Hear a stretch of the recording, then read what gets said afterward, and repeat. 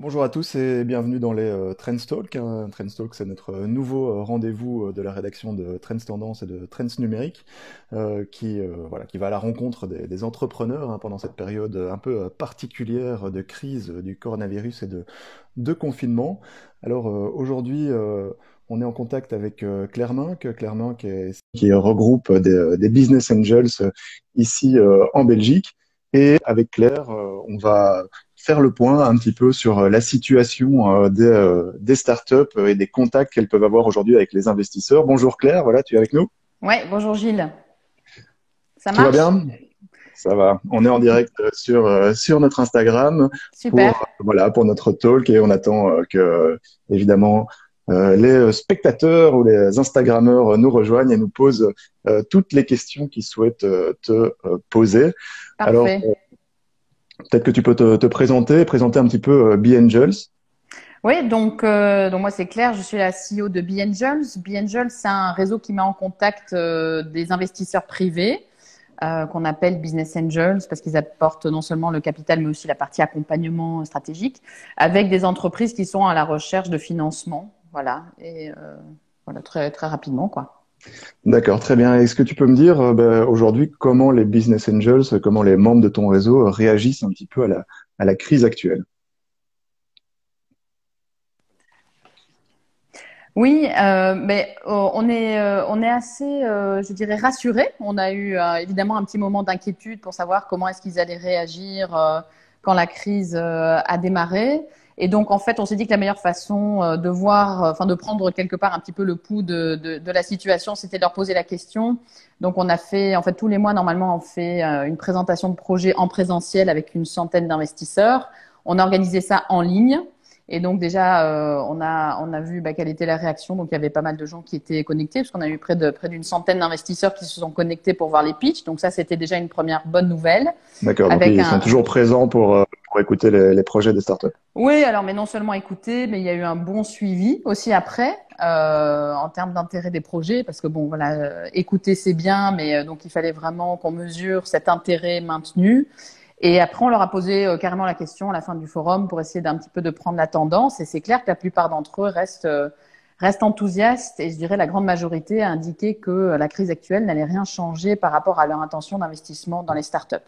D'accord, parce que c'est après, euh, ça, c'est ça qui inquiète aujourd'hui euh, les startups. Euh, voilà, elles se demandent si les investisseurs sont encore, sont encore disponibles. Est-ce qu'ils sont vraiment prêts aujourd'hui à euh, mettre de l'argent à financer euh, des, euh, des projets risqués euh, que, que portent les entrepreneurs? Oui. Ben donc euh, dans la dans la famille des investisseurs, il y a quand même plusieurs types et donc euh, c'est peut-être pour ça que les business angels en particulier restent mobilisés parce qu'en fait ce sont des investisseurs privés, euh, c'est des personnes voilà physiques qui prennent leurs propres décisions d'investissement euh, et donc euh, voilà ils ont moins de contraintes, je dirais, euh, que des structures euh, voilà plus professionnelles en tout cas. euh, par rapport à, à l'investissement qu'ils souhaitent faire dans les startups. Et puis il y a aussi le volet, enfin leur, leur, une des motivations, c'est quand même l'accompagnement. Euh, ils veulent aider Mhm. les startups et je pense que bah voilà, c'est justement un moment de le faire. Euh, donc cette double motivation, je dirais, d'investir mais aussi d'accompagner joue un rôle par rapport à cette catégorie d'investisseurs et explique que voilà, souvent on dit qu'ils ont un rôle contre-cyclique, c'est-à-dire que euh, voilà, au moment où, où ça va pas bien, ben c'est à ce moment-là qu'on voit pas mal d'investisseurs privés euh, intervenir, euh, intervenir pour soutenir les startups. Mhm. Voilà, mais les business angels, c'est aussi des, des investisseurs qui ont un portefeuille plus large, qui n'investissent pas que forcément que dans les que dans les startups, qui ont euh, peut-être de l'argent euh, en bourse, euh, dans l'immobilier, euh, leur propre entreprise, des parts dans certaines sociétés. Et là, aujourd'hui, ben, avec la crise actuelle, euh, on peut quand même se dire qu'ils ont ils ont perdu pas mal. euh, ce ce qu'on ce qu'on voit en tout cas en bourse, ça a été une une grosse euh, une grosse chute. Donc, euh, est-ce que du coup, ils ont pas euh, ils sont pas en train de réduire les dépenses et leur, leur projet d'investissement euh, dans, dans les startups. Oui, alors c'est sûr qu'ils mettent pas du tout tout leur patrimoine dans l'activité de business angel, qui reste euh, voilà une activité où il y a plein d'opportunités, mais qui est euh, du capital risque d'amorçage, donc où le niveau de risque est quand même euh, significatif. Euh, donc voilà, nous en tant qu'organisation, on dit toujours voilà pas plus de 5 à 10% du patrimoine, et donc ça veut dire que le reste effectivement est en bourse ou en immobilier ou autre chose. Donc effectivement, euh, il est clair que euh, avec les, les circonstances actuelles, euh, voilà le il va fa... il y a quand même un petit temps pour analyser ce qui se passe en général dans le patrimoine, Mhm. euh, mais néanmoins, quand, quand on travaille sur notre communauté existante, c'est des gens qui, je veux dire, et interviennent déjà comme business angel, ont déjà réservé un montant pour investir dans les startups. Et quelque part, cette vision-là pour eux n'a pas changé. Après, euh, ce qu'ils vont faire dans, dans, les autres poches, évidemment, ça c'est à voir. Et après, on a des business angels qui ont déjà des portefeuilles plus importants de startups. Et là, qui vont, c'est clair, euh, donner davantage d'attention aux startups qui sont euh, déjà en portefeuille. Et certainement que tout ça va affecter un petit peu euh, les, les, montants des levées de fonds, peut-être le type de société qui vont recevoir du financement, enfin d'une façon ou d'une autre. Mhm. Et c'est pour ça qu'on qu'on suggère aussi que c'est un bon moment d'encourager davantage de personnes à investir dans les startups, parce qu'on a notre communauté qui est déjà investie, mais donc c'est peut-être le moment de et justement avec tout ce qui se passe en bourse, de dire bah voilà il y a des façons de diversifier son patrimoine, certainement pas de le placer en tant que business angel parce que c'est certainement pas des placements, euh, mais voilà c'est une alternative et qui soutient l'économie réelle quoi. D'accord, très bien. Bah, J'en profite pour saluer euh, Max, Hugues, Chris euh, qui sont en train de nous rejoindre là, sur le live. Donc, euh, n'hésitez pas à, à poser euh, des questions à Claire aujourd'hui. Alors, tu t'en parlais justement du, du fait que voilà, il y a, a peut-être aujourd'hui des, des, arbitrages qui vont donc quand même devoir être faits par par les investisseurs et par les business angels notamment. Et donc peut-être plus d'attention qui sera mise dans des projets qui connaissent déjà donc des réinvestissements dans des, dans des projets existants que dans des euh, nouveaux projets Est-ce qu'il n'y a pas un, risque plus important pour les entrepreneurs qui sont à un stade plus jeune, qui cherchent aujourd'hui euh, des, fonds d'amorçage et qui vont se retrouver face à des investisseurs qui vont peut-être privilégier, entre guillemets, la sécurité, c'est-à-dire des projets qu'ils connaissent déjà? Oui, mais alors quand on réinvestit dans une société en tant que business angel, on le fait pas de manière automatique. C'est euh, une nouvelle analyse qu'on fait sur un dossier, même si on le connaît. Euh, quelque part, une des bonnes pratiques, un des bons réflexes en tant que business angel, c'est de regarder le dossier et en reprenant un petit peu sa grille d'analyse. Donc ça, c'est la première chose, c'est que le réinvestissement n'est pas du tout automatique. Euh, bien sûr, je dirais le premier réflexe, c'était de contacter les startups, de dire, OK, comment est-ce que ça va vous affecter? Comment est-ce qu'on peut, je dirais, voilà, réduire les coûts, etc. Donc il y, avait, il y a eu vraiment ce, ce travail d'accompagnement qui a été fait auprès des startups. Euh, voilà. Maintenant, euh, évidemment, pour certains où il y avait des besoins de financement qui arrivaient, bon, bah, ça c'est sûr que les, les, business angels ont aussi réservé euh, déjà de, une partie de, de, de, leur budget pour réinvestir, hein, parce que nous on dit toujours chaque euro qui est investi dans une startup, il faut réserver un ou deux euros pour réinvestir dans cette même startup. Donc il y a aussi, mmh. voilà, je dirais des bons réflexes euh, qui sont là. Après, est-ce que ça va être plus dur pour des sociétés qui démarrent de lever des fonds. Bah, voilà, aujourd'hui, pour l'instant, je ne vais pas dire que nous c'est business as usual, mais ça continue. On voit pas, on voit pas de différence. Maintenant, pour des, des gens qui se lancent, euh, euh qui sont vraiment en, en précide, hein, parce que bon, nous historiquement, 30% des dossiers dans lesquels nos membres ont investi, il n'y avait même pas de structure juridique. Donc, mmh. on est vraiment euh, très tôt. Voilà, il faut se poser la question de savoir est-ce que ça fait une différence de commencer maintenant ou de commencer, je dirais peut-être en septembre? Ça, c'est une vraie question mmh. à se poser. Euh, après, au niveau du montant levé, il est clair que ça, ça sera peut-être pas si facile de relever des fonds euh, auprès d'autres acteurs euh, dans les prochains mois. Donc, il faut aussi bien mesurer son besoin en financement. Euh, et après, bon, ben voilà, il y a des, il y a des startups qui ont déjà commencé leurs activités, qui viennent chez B-Angels lever des fonds pour la première fois. Moi, je vois pas de, de réaction contraire, en tout cas de notre mmh. communauté, par rapport à, à ces dossiers-là. Alors on a une question de, de Chris là sur les sur les valorisations. Euh, c'est vrai qu'on on parle de, de, de, baisse de valorisation dans les startups aujourd'hui de, de 30-40% euh, dans, dans, dans, certains cas, donc un, gros impact sur, sur les valos. Euh, donc, est-ce que ça a un impact aussi sur les participations actuelles des, des, business angels qui ont investi dans les startups et qui se disent voilà, bah, ils sont déjà en train de, de perdre euh, de perdre de l'argent dans des dans des investissements qu'ils ont qu'ils ont déjà fait au préalable? Oui, alors il y a plusieurs aspects à cette question. C'est clair que, en tout cas, du, point de vue de notre organisation de Angels, on a trouvé euh, ces dernières années, en particulier l'année passée, que les valorisations étaient très élevées. Euh, et donc, ça a eu un impact, euh, je dirais, par rapport au premier tour de financement déjà en 2019. C'est-à-dire que nos business angels étaient beaucoup plus attentifs aux valorisations et ont peut-être moins fait de premier tour de table parce que les valorisations étaient déjà trop élevées. Donc, euh, je dirais que là, la situation, c'est pas forcément de se dire tiens, on va devoir relever de l'argent à une valorisation moindre. Ça, ça sera le cas si on est rentré à une valorisation qui, était déjà trop haute. Euh, et c'est vrai que bah, c'est un peu le rôle de Angels aussi, c'est qu'on a tout un, enfin voilà, nous on forme nos business angels, on essaie de faire en sorte qu'il y ait euh, ces bonnes réflexes, ces, ces bonnes pratiques, etc. Et c'est clair que les valorisations, si elles sont trop hautes, c'est ni à l'avantage des entreprises, ni à l'avantage des business angels. Et aujourd'hui, je pense qu'effectivement, avec la crise, on risque de voir une correction des valorisations pour certaines sociétés, euh, parce que ces dernières années, voilà, il y a eu quand même pas mal d'argent sur le marché, euh, que ce soit avec beaucoup de nouveaux fonds d'amorçage qui se sont créés.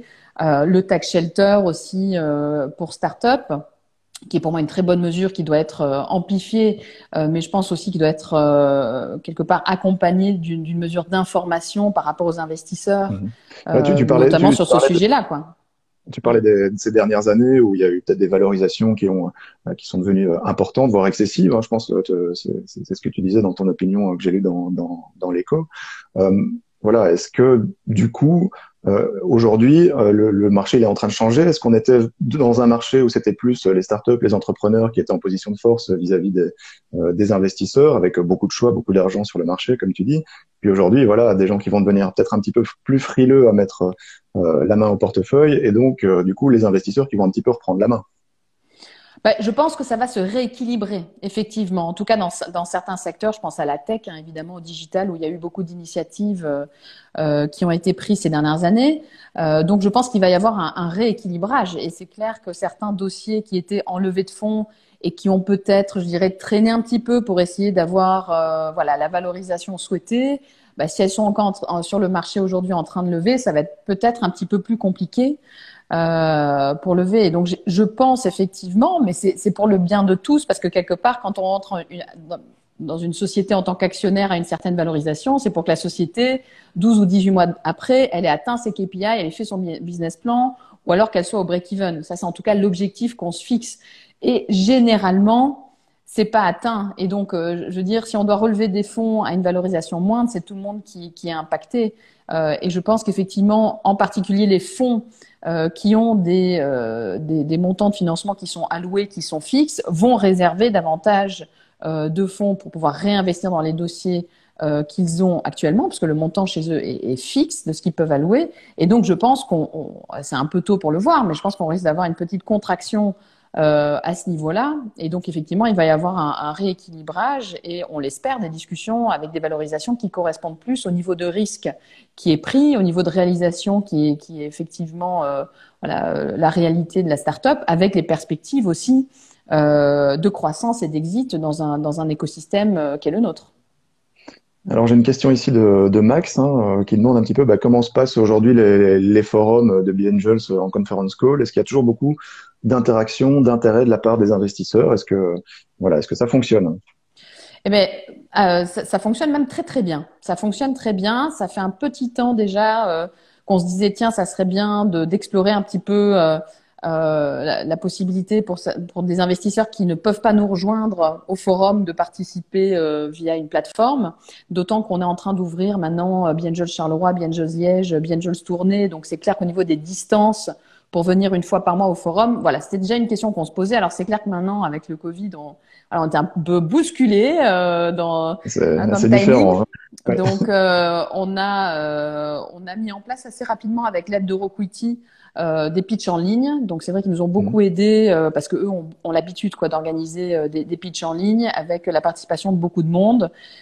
donc ils nous ont mis à disposition leur salle de pitch.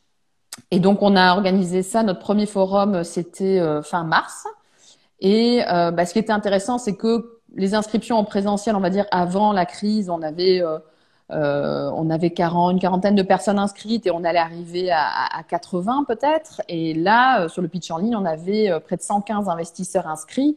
Euh, on en a eu un peu moins d'une centaine qui ont participé, donc ça c'était mm-hmm. top et qui sont restés, je dirais, tout le long. Et alors, au niveau interaction, c'est un peu particulier parce que l'entrepreneur, effectivement, au lieu de pitcher devant une grande salle euh, de personnes, mais ce qui peut être intimidant aussi, ce qui peut être très intimidant aussi, euh, bah là, il pitch devant son ordi et puis euh, voilà. Mais par contre, après, on a bien bien géré l'interaction puisqu'il y avait, euh, bon, on utilisait le chat et donc c'est vrai que bon, comme c'était ouvert que à nos membres et qui se connaissent bien, euh, c'était assez marrant de voir d'ailleurs le niveau d'interaction euh, dans, dans, le chat et beaucoup de questions, peut-être plus que euh, qu'on en a en forum parce que justement les gens, bah, mhm. voilà, ils sont sont derrière l'ordi, peuvent poser les questions.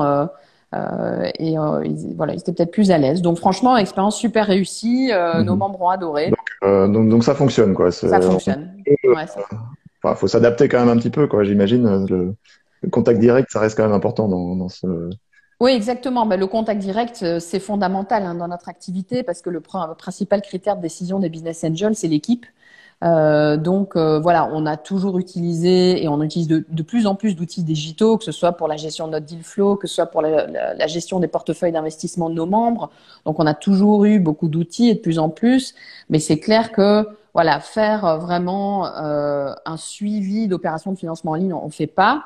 Mais par contre, voilà, là, le pitch, euh, franchement, ça, ça, ça s'y prête bien. Après, je pense que ce sera toujours complémentaire. Donc, à la fin, à mon avis, du confinement, on va reprendre nos forums parce que euh, inévitablement, oui, c'est différent de pouvoir euh, rencontrer une équipe entrepreneuriale, leur poser des questions, leur serrer la main, etc., d'avoir un peu justement le feeling. Mmh. Mais, mais c'est vrai qu'on arrive à avancer pas mal quand même hein, avec Zoom, avec tous, tous les outils qu'on a. Alors, on a une question de, Pierre hein, qui, s'interroge un peu sur les, difficultés que les, startups traversent aujourd'hui. Est-ce que, euh, est-ce que voilà, est-ce qu'en Belgique aussi, euh, les startups euh, ont des challenges et quels sont-ils? Alors oui, c'est clair que les startups ont des challenges. Alors évidemment, la situation n'est pas identique en fonction du secteur d'activité des entreprises. mais bon, il y a des entreprises qui ont très peu ou, plus d'activité pour l'instant. Donc c'est clair que euh, y, a, des, stress pour l'instant au niveau des startups, en particulier au niveau trésorerie. Et donc euh, c'est vrai que bah, quand la partie commerciale, vente euh, s'arrête, qu'est-ce qu'on fait? Donc c'est un peu là le rôle. moi j'ai été très agréablement surprise, impressionnée en tout cas du rôle très hands-on qu'ont pris les business angels dès le début de la crise. Donc euh, même avant le confinement, il y en a pas mal qui ont commencé à contacter les startups en disant euh, voilà, c'est en, train d'arriver, il va y avoir euh, des mois très difficiles.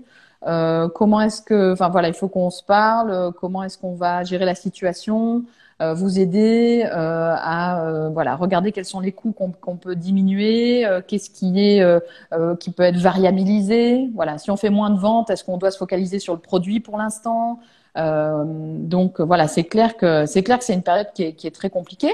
Après, euh, c'est une période aussi avec des opportunités pour certaines startups. Hein. Je pense à à WooClap euh, ou à Manote, qui sont dans, dans, des sociétés dans les portefeuilles de certains de nos membres. Voilà, tout ce qui est euh, nos... justement, soit d'enseignement à distance, par exemple, ou de, oui, voilà, exactement. Donc ça, c'est les nouvelles technologies et juste ces startups-là. Oui, voilà, justement où, ben voilà, on, on, a toujours, on se dit toujours que le rythme d'adoption est trop lent par rapport à ces nouvelles technologies. C'est clair que ça va mieux. Ou, ou eFarms, pareil, qui est, qui est, euh, qui est une société qu'on a en portefeuille. Ben voilà, la, livraison, je crois que euh, ça, ça, se passe très bien. C'est même assez compliqué d'essayer de suivre mm-hmm. toutes les demandes. Mais c'est vrai que pour d'autres, c'est extrêmement compliqué, quoi. Mm. Et justement, on a vu cette semaine ben, un appel des, des startups, des un plan pour de, de, sauvetage quoi quelque part avec euh, cette proposition hein, qui est qui est de dire ben voilà si si euh, un investisseur privé met 25% euh, enfin, met une certaine somme dans dans une startup l'État serait amené à venir en garantie pour 75% de plus, donc pour amener le triple de, de la valeur qui a été mise par l'investisseur privé. Alors qu'est-ce que qu'est-ce que tu penses de cette de cette initiative et de la mesure qui est proposée? Alors, je pense que euh, premier point, je trouve que c'est super qu'il y ait une initiative commune euh, pour les startups belges. Donc ça, c'est déjà ça. Ça c'est vraiment, je trouve déjà un message hyper positif qu'on arrive à, en assez peu de temps à réunir euh, pratiquement 1000 startups sous une cause commune. Et je pense vraiment que c'est bien d'avoir une stratégie start-up parce que les start-up ont des besoins très spécifiques euh, et qu'on le voit dans certains pays. Euh, voilà, des mesures, par exemple, sous forme de dette, etc. Ça, c'est bien quand on a des bilans, c'est bien quand on a des fonds propres, mais quand on est une start-up, c'est pas forcément les mesures les plus appropriées. Après, au niveau de la réponse, voilà, moi je pense que effectivement, euh, il faut peut-être faire attention à la façon dont on, dont, dont on porte certains messages. Je, sais, je pense qu'il y avait une certaine euh, maladresse qui était liée à l'envie d'aller vite. Avec, avec, cette proposition. Bah, c'est-à-dire que si, mais c'est-à-dire que même, bon, après, euh, je, ne sais pas si je connais extrêmement bien le détail de ce qui a été proposé, ou en tout cas de l'intention. Euh, mais s'il y a 25% qui sont amenés par des, par des investisseurs, ce qui disait avertis. Alors, c'est quoi un investisseur averti? Bonne question. Euh, 75% garantis par l'État, soit, mais qui apporte les 75% Si, si l'État garantit, c'est voilà, cet argent, il va venir d'où? Pour moi, c'était mm. pas, pas, pas très clair. Et euh, voilà, moi, je privilégie plutôt, c'est vrai, du co-investissement. Je trouve que 1 pour 1, c'est déjà bien euh, et je privilégie plutôt des pistes euh, qu'on voit d'ailleurs en Angleterre ou autre hein, dans, le, dans les communautés de start-up, comme je le mentionnais dans la chronique de l'écho, c'est-à-dire de dire, euh, voilà, aujourd'hui, euh, c'est peut-être un bon moment d'essayer d'encourager bah, tous ces montants qu'on a sur les comptes d'épargne, dont on parle à longueur de temps, euh, qu'il y a beaucoup d'argent sur le compte d'épargne des Belges. Maintenant, euh, il a pas, voilà, l'économie en a besoin, notamment les start-up. Est-ce que c'est pas le moment d'amplifier certaines mesures qui vont permettre de mettre du, capital à disposition des startups. Quoi. Voilà. Bah, j'en profite pour euh, souhaiter la bienvenue à toutes les personnes qui nous ont euh, rejoints en cours de route. Hein. On est dans les Trends Talk. Hein. Trends Talk, c'est notre nouvelle euh, émission en direct pour l'instant sur notre compte Instagram, donc notre émission Trends numérique. Et on a aujourd'hui avec nous bah, Claire Minck, hein, qui est euh, la patronne de B Angels, euh, de euh, B, Angels, le réseau de business angels ici en Belgique. Alors voilà, tu, nous parlais justement de, peut-être d'autres mesures qui pourraient être mises mises sur pied ou amplifiées pour aider les startups. Et je pense que toi, voilà, une des idées, c'est d'amplifier le, tax shelter. Hein, tu, l'as évoqué euh, là tout de suite. Qu'est-ce qu'on qu'est-ce qu'on pourrait faire pour améliorer cette, cette mesure qui a été prise il y a, il y a deux trois ans, je pense, pour aider les startups? Oui, alors moi j'ai toujours euh, trouvé cette mesure très très favorable. Hein. Enfin mon, passé, ça fait presque 20 ans que je suis dans le milieu des business angels et, j'ai travaillé longtemps au niveau international et européen, euh, justement pour essayer de voir quelles étaient les bonnes pratiques pour euh, encourager davantage de, personnes à devenir des business angels. Parce qu'en fait, pourquoi est-ce que c'est si important? Parce que les startups, bah, il en faut beaucoup. il faut davantage d'investisseurs privés pour les soutenir parce que demain, ça créera un plus petit nombre de scale-up qui vont devenir encore un plus petit nombre de grandes entreprises qui vont être les employeurs de demain. Donc, on doit toujours aller chercher des nouveaux investisseurs privés. Et donc, euh, c'est vrai qu'il y a, bon, quand le gouvernement belge a pris cette initiative euh, euh, il y a deux, trois ans, voilà, on était quand même assez proche de, de certaines discussions. Déjà, à l'époque, ils se sont basés sur une partie de l'instrument qui existe en Angleterre, donc en Angleterre, depuis, euh, je sais pas, 30-40 ans, il y a le Enterprise Investment Scheme qui permet aujourd'hui d'amener pratiquement un milliard de pounds euh, aux entreprises euh, par an.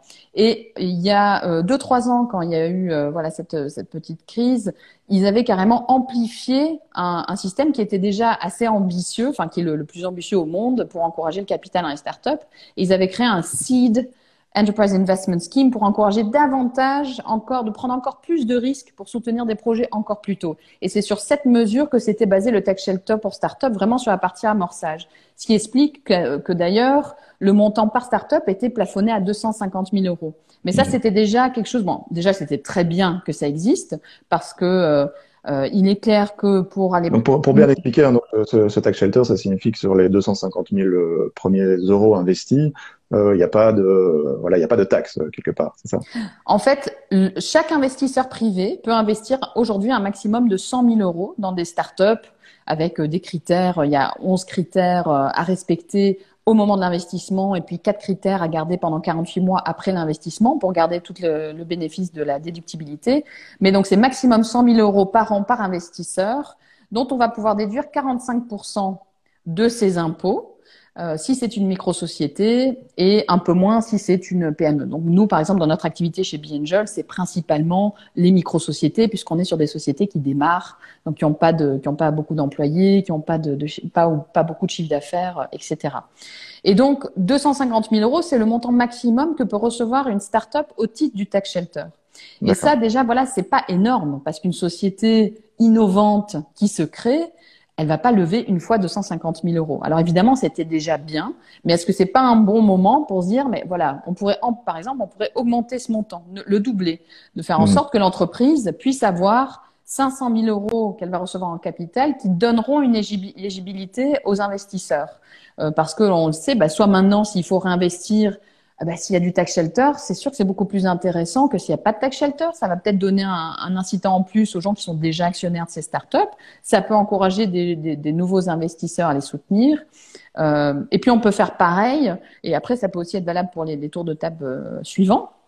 Et après, de la même manière, on peut très bien augmenter le plafond qu'on a mis de 100 000 euros par personne par an. On peut l'augmenter, sachant qu'en Angleterre, il est à 1 million de pounds par an. Donc euh, voilà. Et, euh, mhm. et, effectivement, si on regarde ces mesures anglaises, donc il y a euh, le, le, fait de, de, pouvoir avoir un investissement plus important au niveau des startups, un investissement plus important au titre de l'investisseur privé, avec éventuellement aussi des déductions euh, pour, pour, les pertes en capital. Ça, c'est aussi, c'est aussi possible. Ça existe dans, dans, dans pas mal de pays. Euh, et puis après, on peut envisager aussi des outils de co-investissement euro pour euro euh, qui permettraient peut-être d'aider, alors soit des sociétés qui ont déjà des investisseurs en portefeuille, justement pour euh, pour, pour cofinancer ces phases relais, ou alors des sociétés qui se créeraient. Euh, voilà, je pense que ça c'est tout ça est, envisagé. Après, évidemment, c'est plus mon, mon angle de de connaissances, c'est le capital dans les startups et je pense que ça reste quand même la solution la plus évidente. Est-ce que cet Accelger, il a, il a déjà été euh, fort utilisé, toi, dans ton réseau, à ta connaissance? Est-ce que euh, les membres de BNG sont déjà euh, fait, fait, usage de ce, de ce, mécanisme? Oui, oui, c'est sûr. Euh, c'est sûr que nos, nos, nos membres sont euh, très familiers avec cette mesure hein, qui existe déjà depuis 2015. Hein, et on était, bah, voilà, un des premiers acteurs prêts, prêts, je dirais, à, à, la faire marcher, puisque bon, nous, on a tous les mois et on existe depuis 20 ans, donc tous les mois, on a des startups qui pitch, qui sont éligibles en général au tax shelter pour startups. Et donc, c'est clair qu'au fur et à mesure des années, on a vu que c'était euh, ça a permis d'amplifier l'investissement dans les startups. Après, nous, on a tout euh, un processus de sélection des startups et le fait que ce soit tax shelter ou pas ne rentre pas dans ces critères-là. Et donc, il va y avoir toute une série de startups qui pitchent chez nous, euh, qui ne sont pas éligibles parce qu'elles ont été créées il y a avant quatre ans, ou peu importe. Et donc, nous, en général, euh, il y a, euh, je dirais, peut-être 60% euh, des dossiers qui, qui, présentent qui sont éligibles tax shelter et 40% pas. Donc c'est très important parce que justement, on a eu beaucoup de discussions aussi sur l'explosion des valorisations à cause du tax shelter. et quid mhm. si on, on, amène davantage de capital sur le marché, est-ce que ça va, voilà, ça va faire se créer toute une série de, un effet d'aubaine, etc. Mais je pense que c'est justement là que doivent jouer un rôle, enfin, c'est un rôle pour nous, pour les intermédiaires, euh, qui sommes en contact euh, avec ces startups dont c'est le métier, voilà, d'expliquer aux investisseurs aussi, euh, bah voilà, vous déduisez 45%, mais il y a 55% à risque. Ça, c'est la première chose. C'est pas une déduction aujourd'hui de 100%. Deuxièmement, la société qui vous demande 1 euro aujourd'hui, elle va avoir besoin de 1 à 2 euros demain. Si vous n'êtes pas capable, quelque part, vous n'avez pas envie de suivre votre investissement, quelque part, vous allez tuer votre investissement parce que la société, euh, si ces investisseurs actuels ne, ne réinvestissent pas, c'est jamais un bon signe pour les tiers. Donc, je pense que ça, ça doit être accompagné quelque part d'un renforcement de rôle des intermédiaires dans le financement d'amorçage euh, pour expliquer c'est quoi investir en capital. Bénéficier d'un incitant fiscal, c'est bien, mais comment est-ce qu'on le gère correctement pour que ce soit au bénéfice des entreprises et des actionnaires qui prennent un risque. Alors on a une question de, Pierre, hein, il se projette un petit peu déjà dans, dans les prochaines semaines et il veut savoir si euh, la période à venir va susciter un peu des idées hein, chez certaines startups. Est-ce que, est-ce que tu penses qu'on va avoir justement une recrudescence des projets, peut-être des pitchs dans les, dans les prochaines semaines avec euh, voilà, des, projets qui, qui répondent peut-être quelque part à la crise actuelle? Oui, alors déjà en termes de, volume, euh, nous déjà on voit euh, une augmentation du nombre de dossiers euh, assez légère, mais donc voilà, on a un comité de sélection tous les mois et on a on a un deal flow, un bon deal flow, euh, je dirais en ce moment. Donc je dirais en, termes de quantité, c'est déjà ça. Euh, et après effectivement, chaque crise est source euh, d'opportunités et d'innovation. Et donc voilà, les business angels, c'est typiquement ils, adorent l'innovation. C'est aussi pour ça qu'ils sont membres d'un réseau comme Angels, c'est que tous les mois il voit des gens avec des nouvelles idées qui apportent voilà des solutions à des problèmes. Et après, je pense qu'effectivement, une crise comme on la vit aujourd'hui, euh, avec le confinement, avec euh, voilà tous les problèmes qu'il y a, ça va certainement amener un certain, enfin voilà, des gens à, à trouver des solutions euh, pour des problèmes, euh, des problèmes de santé, des problèmes sociétaux, des problèmes euh, voilà environnementaux. Et donc, euh, j'imagine oui que ça va donner lieu à toute une série de, de chouettes nouveaux projets. Alors on a une question de, Andy hein, par rapport au, au, à Angels, justement. ils demandent voilà, si, les membres de B Angels investissent uniquement dans des startups innovantes ou bien est-ce qu'ils sont aussi ouverts à, à d'autres types de secteurs? Oui, alors nous, on est ouvert à pratiquement tous les secteurs, ça c'est déjà important. Euh, il n'y a que deux secteurs qu'on ne va pas financer. C'est vraiment l'immobilier pur et dur. Donc, si vous venez nous voir pour financer un bâtiment, pour un concept, euh, ça, on ne va pas le faire. Ou si, euh, ou l'ORECA pur et dur. Donc, l'ORECA pur et dur, c'est exploitation d'un seul point de vente. Si c'est un concept innovant dans l'ORECA, on, on, va pouvoir regarder. Ce qui est important de savoir, alors pour, oui, les, les business angels investissent dans les startups innovantes euh, mais l'innovation, c'est pas que l'innovation technologique, c'est l'innovation dans les business models, c'est l'innovation dont on amène quelque chose sur le marché. Donc, euh, c'est vraiment au sens large. Ce qui est assez important, c'est le potentiel de croissance. Euh, pourquoi? Parce que quand on devient actionnaire d'une société euh, à un stade très jeune où je dirais que le principal critère de décision, c'est l'équipe, parce que le reste, c'est beaucoup de prospective et de vision et de etc. qui doit se réaliser. Euh, le risque pris individuellement sur chaque investissement est quand même assez important. Donc c'est vrai que le retour sur investissement euh, doit quand même venir compenser le niveau de risque. Après, notre communauté, ce sont des personnes qui ont tous des affinités différentes, qui ont des stratégies d'investissement et ils vont peut-être euh, voilà regarder un certain, enfin avoir un certain objectif de retour sur investissement sur un dossier, peut-être moins sur un autre. Donc ça c'est vraiment au cas par cas, mais c'est vrai qu'en tout cas c'est innovation dans le sens large et potentiel de croissance, sachant que les business angels sont là pour accompagner pendant peut-être 5 à 7 ans euh, et qu'après voilà normalement euh, on passe le bâton à, à, des acteurs plus structurés ou où, l'équipe peut reprendre euh, voilà complètement le je dirais le contrôle du, du, du bateau voilà. D'accord. Alors, question très concrète que les, que les, startups se posent aussi, qu'est-ce qui se passe aujourd'hui si elles sont en processus de, de levée de fonds mais qui n'est pas encore finalisé ouais. Est-ce que tout est bloqué? Est-ce que est-ce qu'on se donne rendez-vous euh, dans quelques mois? Ou est-ce que est-ce qu'elles doivent s'inquiéter? Euh, Voilà, est-ce que est-ce qu'il y a encore moyen de, de, de clôturer des processus aujourd'hui? Ou bien est-ce que tout est gelé? Non, non. Euh, en tout cas, chez nous, tout continue. Donc, on a un certain nombre de dossiers en cours qui sont euh, en train de se finaliser. Et donc, euh, tout continue. Alors, euh, beaucoup plus par email, certainement, beaucoup plus par conf call. Euh, mais on a aussi contacté euh, voilà, certains notaires pour voir s'ils continuent à passer des actes d'augmentation de capital. c'est le cas. donc, on, et c'est pareil, les juristes, les partenaires avocats continuent à travailler sur les conventions quand il y a besoin.